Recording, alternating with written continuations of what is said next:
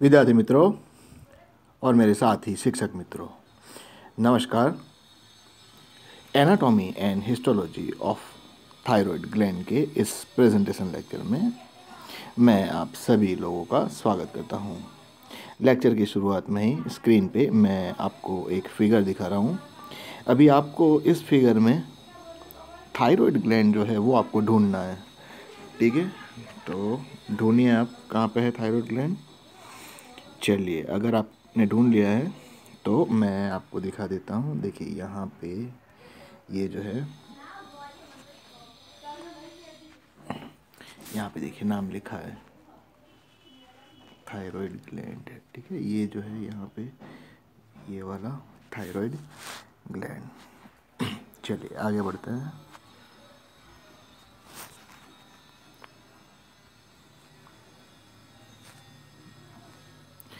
यहाँ पे आप देखिए, ये जो फिगर है इसमें, चलिए अब आपको फिर से थायराइड ग्लैंड जो है वो ढूंढना है, ठीक है? इस फिगर में भी तो जो नाम है,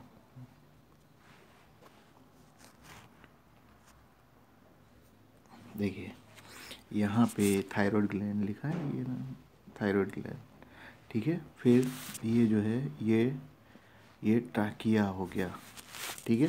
फिर एसोफेगस, ये वाला। ठीक है ना? तो ये क्या है? नेक जो रीजन है हमारा, हमारी जो गर्दन है, उसका क्रॉस सेक्शन जो है, वो दिखाया है। तो आप समझ सकते हैं कि किस तरह से वो लोकेटेड है। ठीक है? थायराइड ग्लैंड चलिए, अब आगे बढ़ते हैं। शुरुआत कर रहे हैं आज का जो लेक्चर है। ठीक है? तो आज का जो लेक्चर है थायराइड ग्लैंड के ऊपर, इसका जो ऑब्जेक्टिव है वो क्या है? डिस्क्राइब लोकेशन हिस्टोलॉजी ठीक है? इतना ही है। फिर ये जो है हॉर्मोन्स फ़ंक्शन ऑफ़ थायराइड ये आगे वाले लेक्चर में देखेंगे। ठीक है? तो आज का जो लेक्चर है, इसमें हम किसके बारे में बात कर रहे हैं? लोकेशन हमारे शरीर में थायराइड ग्लैंड कहाँ पे है? और उसका हिस्टोलॉजी कौन से प्रकार के सेल उसमें मौजूद हैं, वो बात करेंगे, ठीक है? और थोड़ा सा डिस्कस करेंगे कौन से हार्मोन पैदा करते हैं थायराइड ग्लैंड अच्छा अब थायराइड ग्लैंड जो है, इसका जो शेप है, इसका जो आकार है, वो बटरफ्लाई शेप होता है। बट बटरफ्लाई का मतलब होता है पतंगी, आप बोलते हैं ना, तितली। तो तितली जैसा उसका शेप होता है। और ये जो है थायराइड ग्लैंड कहाँ पे होती है हमारे शरीर में? तो inferior to the larynx voice box larynx या तो जिसे हम वॉइस बॉक्स कहते हैं स्वर पेटी तो आ, उसके नीचे ये होती है। यहाँ पे आप देखेंगे ये जो है देखिए थायराइड ग्लैंड यहाँ पे लिखा है और ये वाली जो है यही थायराइड ग्लैंड है जो लैरिंग्स या तो वॉइस बॉक्स के नीचे पाई जाती है। लोकेटेड है सिचुएटेड है। ठीक है तो ये थायराइड ग्लैंड कहाँ पे है हमारे शरीर में? उसके बारे में पूरा जो फिगर है मैं आपको दिखा देता हूँ। सारे जो नाम हैं, ध्यान से देखिए आप। ये मेन तो ये देखिए आप, है ना? थायराइड ग्लैंड में क्या क्या है? सभी के बारे में बात करते हैं। अच्छा कार्टिलेज वगैरह भी देखिए। ठीक है क्रिकोइड कार्टिलेज की पोजीशन देखिए आप, कहाँ पे है? फिर ट्रैकिया देखिए। ठीक है, ये जो है। चलिए, अब तो ये जो है, ये पूरा जो थायराइड ग्लैंड है, वो एंटीरियर व्यू में आप देख रहे हैं, ठीक है? फिर यहाँ पे भी आप देख सकते हैं, देखिए। ये है राइट लेटरल व्यू में आपको जो थायराइड ग्लैंड है वो आपको दिखाई गई है। देखिए, यहाँ पे लिखा है नाम थायराइड ग्लैंड राइट लो ठीक है? इस तरह से।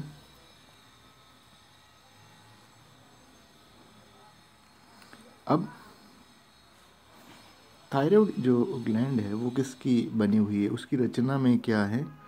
तो देखिए थायराइड ग्लैंड जो है, वो composed of right and left lateral lobe तो यहाँ पे ये वाला जो है, ये हो गया राइट लोब ये वाला जो है लेफ़्ट लोब ठीक है?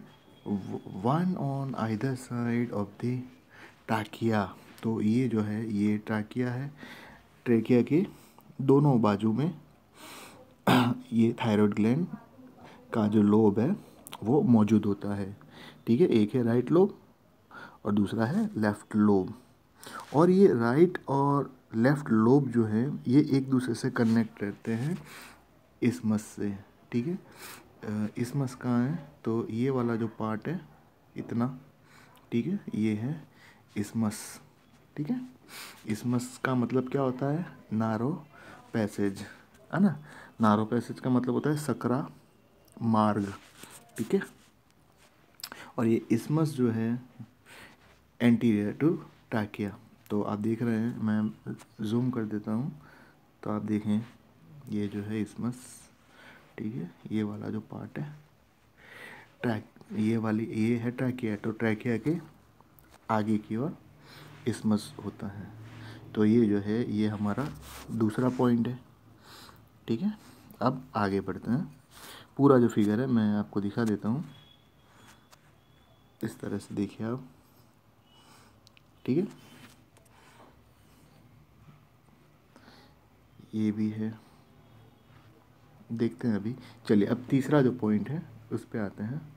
यहाँ पे भी देखिए, हमारा जो नेक है, इसमें गर्दन में, कहाँ पे उसका एग्जैक्ट पोजीशन है? थायराइड ग्लैंड का, वो आप देखिए। ट्रेकिया देखिए, ठीक है? थायराइड कार्टिलेज भी दिख रही है।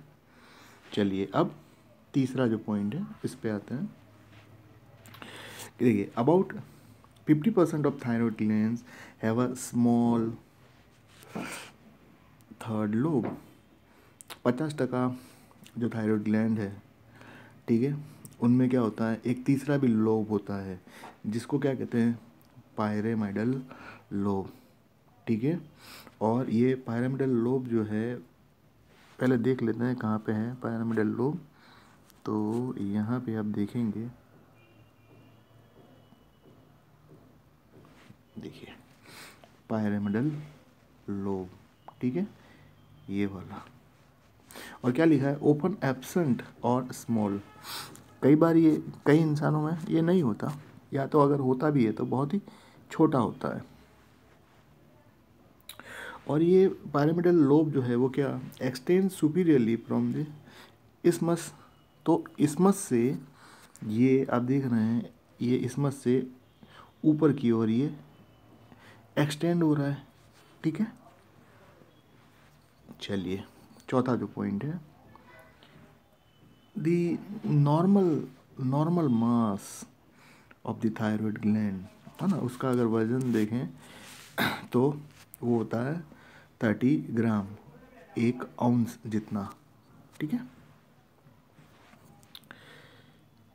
अब ये जो फिगर है, इसमें भी आप देखिए देखिए, यहाँ पे जो लिखा हुआ है thyroid gland is highly vascularised structure thyroid gland में क्या होती है? बहुत सारी ब्लड वेसल्स होती हैं। आर्टरी वेन्स कैपिलरीज इसलिए इसको वास्कुलराइज स्ट्रक्चर कहते हैं। फिर लोकेटेड एंटीरियर टू द टाकिया ये कहाँ पे पाई जाती है? तो टाकिया के आगे की ओर, ठीक है? और इन्फीरियर टू क्रिकोइड कार्टिलेज मैंने अभी आपको बताया क्रिकोइड कार्टिलेज तो क्रिकोइड कार्टिलेज के नीचे की ओर ये होती है थायराइड ग्लैंड ठीक है? ये जो लाइन है, ये हमारे काम का नहीं है. ठीक है. चलिए. तो ये जो फिगर है, ये भी आप देखिए. पूरा. इस तरह से. चलिए, अब आगे। यहाँ पे भी आप देख सकते हैं, ठीक है? इसमें भी सारे नाम जो हैं, देखिए आप। ये देखिए, ठीक है? Anterior review of thyroid gland left lateral lobe right lateral lobe isthmus ठीक है? फिर ये देखिए। ठीक है? एंटीरियर व्यू में देखिए। आप टाकिया देखिए, ठीक है? थायराइड ग्लैंड देखिए इसमस देखिए राइट लेफ़्ट लोब जो है वो देखिए, ठीक है? फिर क्रिकॉइड कार्टिलेज जो है वो देखिए लेरिंग्स का, ठीक है ना? चलिए, अब जो पांचवा जो पॉइंट है, इसके ऊपर आते हैं। यहाँ पे भी आप देख सकते हैं। अब देखिए। इसका जब हम थायराइड जो ग्लैंड है, ठीक है, इसका देखिए, ये जो है है ना? थायराइड ग्लैंड जो है, आप यहाँ से ये एरो जो है वो देखिए। तो इसका अगर हम क्रॉस सेक्शन लेते हैं थायराइड ग्लैंड का, और फिर जब माइक्रोस्कोप में जब हम ऑब्ज़र्व करते हैं, ठीक है? तो माइक्रोस्कोप में हमको क्या दिखता है? वो बात करते हैं। तो पूरी जो थायराइड ग्लैंड जो है वो किसकी बनी हुई है? देखिए, पहले ये जो फिगर है, वो आप देखिए। ठीक है? तो देखिए, क्या लिखा है ये? फिगर में नीचे microscopic organisation of the parathyroid and thyroid gland is illustrated अभी हमको जो पैराथायरॉयड जो है वो नहीं देखना है। ठीक है? ये जो है पैराथायरॉयड है। यहाँ पे देखिए, पैराथायरॉयड। इस पर हम अभी फोकस नहीं कर रहे हैं। अभी हम जो बात कर रहे हैं, वो थायराइड के ऊपर ही हम फोकस कर रहे हैं। ठीक है? तो यहाँ पे जो लिखा है, देखिए।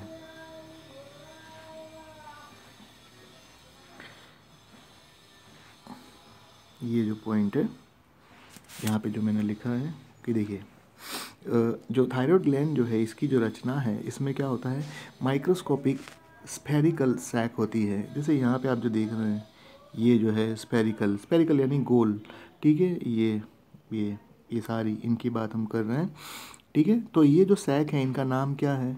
इनको कहते हैं थायराइड फॉलिकल ठीक है? और ये जो थायराइड फॉलिकल जो है तो ये थायराइड फॉलिकल ये ये सभी थायराइड फॉलिकल है। तो पूरा जो थायराइड ग्लैंड है, उसमें क्या होते हैं? थायराइड फॉलिकल होते हैं। और ये थायराइड फॉलिकल जो है make up most of the thyroid gland पूरी जो थायराइड ग्लैंड जो है, वो इसी प्रकार के फॉलिकल से बनी हुई होती है। अच्छा हर एक जो फॉलिकल है हर एक फॉलिकल का जो वॉल है, उसमें primary primarily of cells call follicular cell तो फॉलिकल जो है फॉलिकल के इर्द गिर्द ये वाले जो सेल हैं, ये जो आप देख रहे हैं, ठीक है?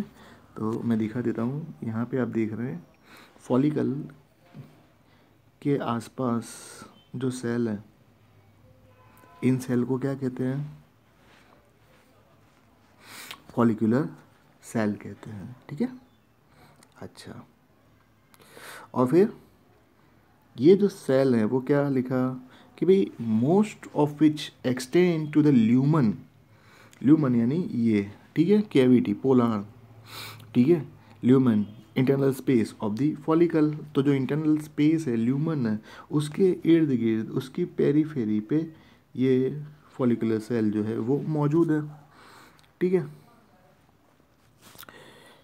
अच्छा और ये जो फॉलिकल जो है, ये फॉलिकल के अंदर क्या भरा होता है? फ़ील्ड विथ कॉलॉइड उसके अंदर कॉलॉइड होता है। और ये कॉलॉइड के बारे में मैं आपको समझाऊँगा जो नेक्स्ट जो लेक्चर है, उसमें हम बात करेंगे। ठीक है? थायरॉयड ग्लैंड का दूसरा जो लेक्चर लेंगे, उसमें हम ये कॉलॉइड के बारे में समझेंगे, क्या है वो। तो पूरा जो फिगर है, मैं आपको दिखा देता हूँ।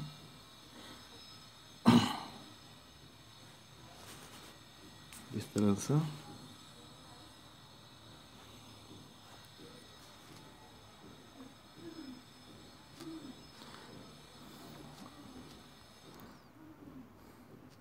अब ये जो है पॉइंट देखिए छः नंबर का पॉइंट अब basement membrane around each follicle ठीक है?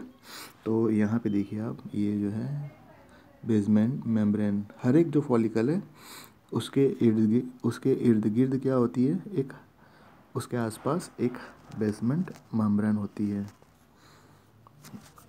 चलिए तो छः नंबर का पॉइंट आगे बढ़ते हैं, सात नंबर के पॉइंट पे जाते हैं।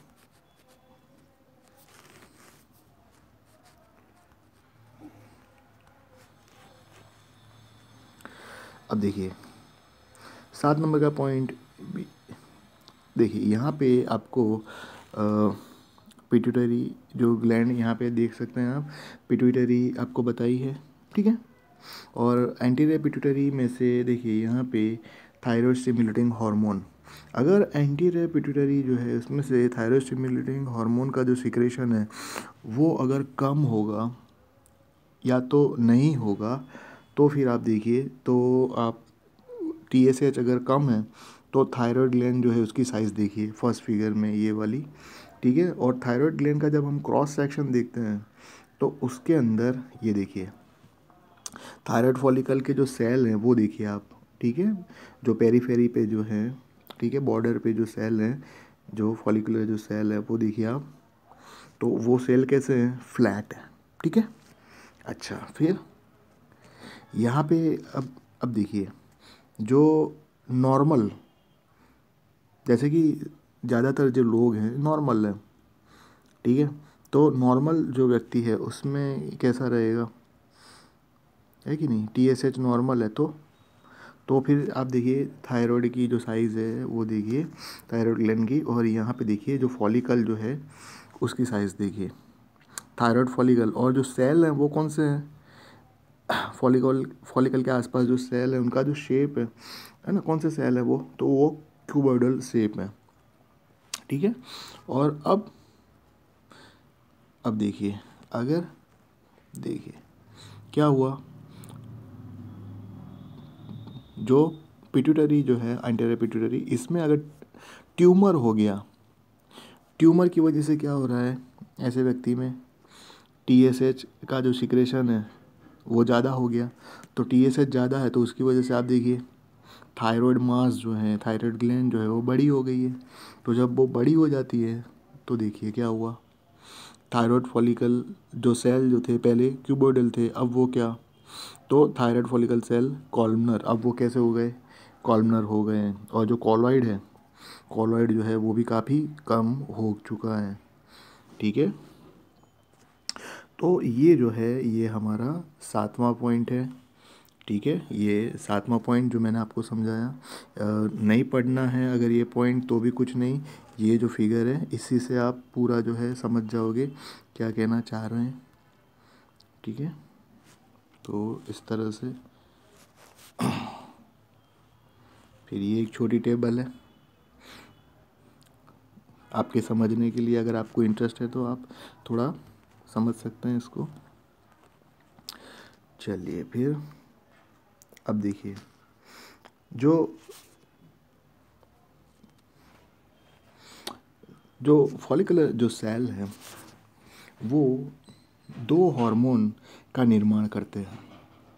एक जो है उसका नाम है थाई सेन ठीक है? एक हार्मोन उसका नाम क्या? थाई सेन और उसको क्या कहते हैं? उसका दूसरा नाम क्या है? थायरोक्सेन का। टेट्रा आई ओ डो थायरोनेन ठीक है? यानी कि टी फोर ठीक है? क्योंकि ये जो टी फोर जो है, उसमें क्या होता है? Contain four atom of iodine उसमें आयोडीन के चार एटम होते हैं। ठीक है? और दूसरा कौन सा है? फोलिकुलर सेल जो प्रोड्यूस करते हैं, दूसरा हार्मोन वो कौन सा है? दूसरा होता है triiodothyronine. ठीक है? क्या कहेंगे? ट्राई आयोडो थायरोनेन ठीक है? तो इसमें contain three atom of iodine इसमें आयोडीन के तीन एटम होते हैं। ठीक है? तो जो टी थ्री जो है एक हुआ टी फोर और दूसरा क्या हुआ? दूसरा जो है वो हुआ टी थ्री तो टी फोर टी थ्री जो है, इन दोनों को एक साथ में क्या कह सकते हैं हम? इनको इकट्ठा हम थायराइड हार्मोन के नाम से इनको जान सकते हैं। फिगर जो है, इसमें मैं आपको अभी दिखा देता हूँ। आगे है।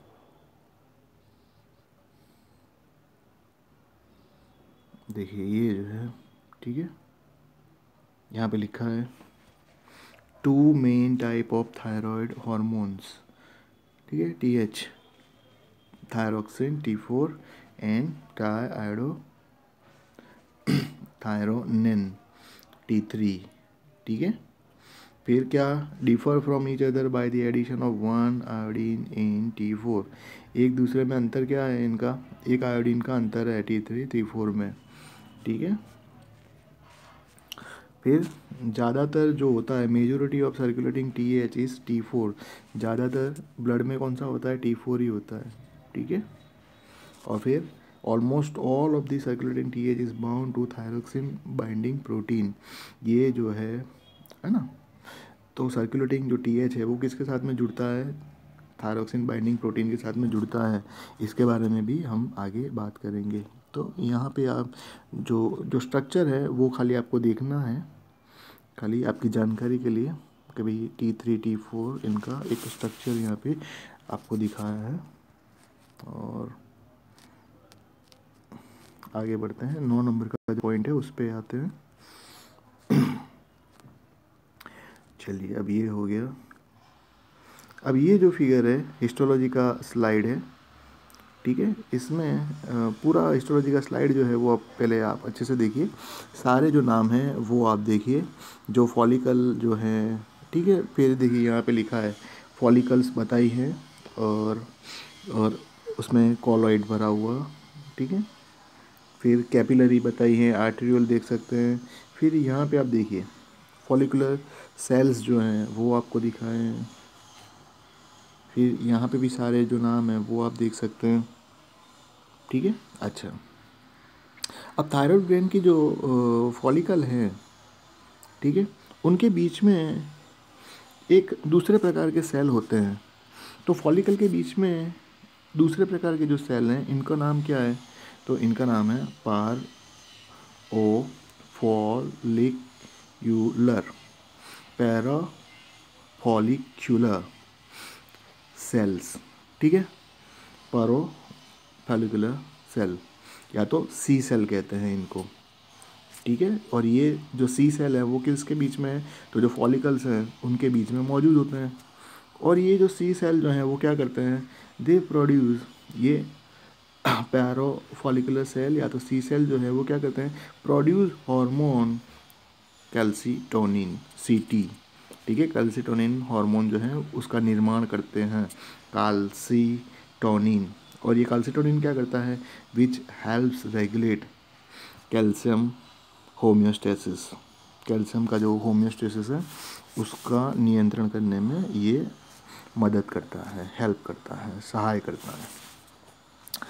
तो यहाँ पे पूरा जो स्लाइड है, वो आप देखिए हिस्टोलॉजी का सारे जो नाम हैं, वो आप समझिए। थायराइड ग्लैंड का जनरल व्यू आपको दिखाया है और हेमाटोक्सोलिन ईओसिन से इसको स्टेन किया है।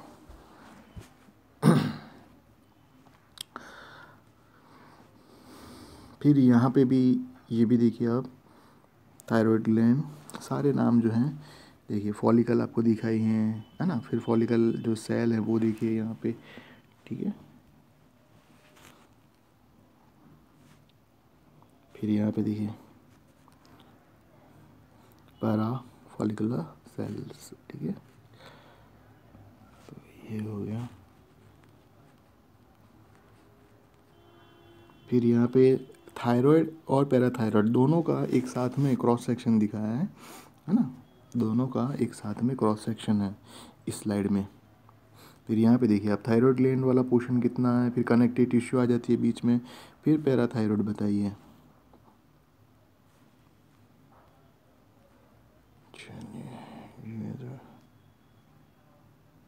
यहाँ पे भी अगर आप चाहें तो देख सकते हैं, thyroid follicular cell parafollicular cell और ये सारा जो है, सभी जो नाम है, इनका जो की है, वो भी मैं आपको दिखा देता हूँ, ठीक है? काफ़ी डिटेल में है, अगर आपको इंटरेस्ट है तो पढ़ सकते हैं आप, ठीक है?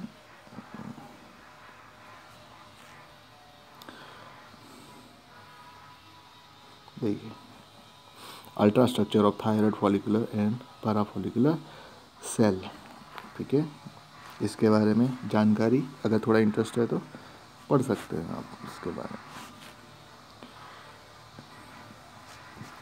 तो इसी के साथ में ये जो प्रेजेंटेशन लेक्चर है, ठीक है, जो थायराइड ग्लैंड का एनाटॉमी और हिस्टोलॉजी के बारे में था, अब ये लेक्चर यहाँ पे समाप्त होता है। आशा करता हूँ कि ये जो प्रेजेंटेशन लेक्चर है, इससे आप जो है आपकी परीक्षा की तैयारी और आपका जो अभ्यास है, वो अच्छे से कर पाएँगे। मेरा नाम मनीष कोष्टी सर है। मैं अहमदाबाद से हूँ। Bye bye. नमस्ते।